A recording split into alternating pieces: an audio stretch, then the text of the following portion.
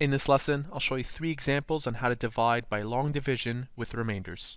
Question 1 reads, divide 898 by 8. The first thing that you want to determine here is what your dividend and what your divisor is. Our divisor is the 8, and our dividend is 898. And the way we organize this by long division is we write our divisor and our dividend right next to each other. And we separate them by this line. Now you start asking yourself, how many times does 8 fit into that first number 8? In other words, what's the highest number I can multiply this 8 by without going over this 8? And the answer to that is 1. 1 times 8 is 8. Now we subtract. 8 minus 8 is equal to 0. We pull this number down, and now we ask how many times does 8 fit into 9? If you multiply 8 by 1, you get 8, which is less than 9. 1 times 8 is 8. Subtract this number from this number gives us 1. Finally, we bring down this 8. 8 fits into 18 twice because 2 times 8 is equal to 16. Subtracting these, we end up with a remainder of 2. Now, depending on the level of study, you might stop right there and say that the remainder is 2. But if you want to find out what the exact quotient is, because right now the quotient isn't exact, what you do is you introduce a decimal and you place the decimal right after the last digit. This decimal will also be placed after the 2. Introduce a 0. Bring this 0 down so that it's right next to the 2. 8 fits into 20, once again, twice. 8 times 2 is equal to 16. That's equal to 4. We still have another remainder, this 4. So we introduce another 0. Bring that 0 down. 8 fits into 40 5 times exactly. 5 times 8 is equal to 40 with no remainder, and this is our exact quotient. Let's move on to question number 2. The question reads, find the quotient for 865.55 over 7. Our divisor here is 7, and our dividend is 865.55. Let's go ahead and set this up like we did in question 1. 7, and we want to find out how many times this fits into 865.55. Starting with this 8, 7 fits into 8 once. Subtract, we end up with 1. Bring the 6 down. 7 fits into 16 twice.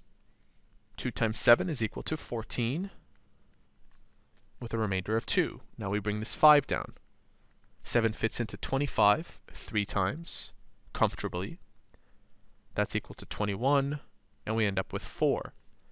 We have a decimal. We place that decimal after this 3. We bring this 5 down. 7 fits into 45 six times. 6 times 7 is 42. Subtract, we end up with 3. And finally, we bring this 5 down. 7 fits into 35 five times perfectly. 5 times 7 is 35. That gives us a remainder of 0, and this right here represents our quotient, our answer. Finally, in question number 3, this is the first time where our dividend is smaller than our divisor. If you look back at the previous two questions, the dividend has been greater than the divisor. That shouldn't change anything. Let's go ahead and set this up. We have 898, and we want to know how many times that fits into this small number of 8. 898 does not fit into 8 at all, so we'll write down 0. And we'll introduce a decimal place. 898 fits into, and take this as 80. It doesn't fit into 80 at all, so we'll introduce another 0. And put a 0 right here. 898 fits into 800 0 times, so put another 0. Finally, we place another 0, and then we ask how many times does it fit into 8,000. You might need to use a calculator at this point, Let's test out 898 by 6. We still have some more room.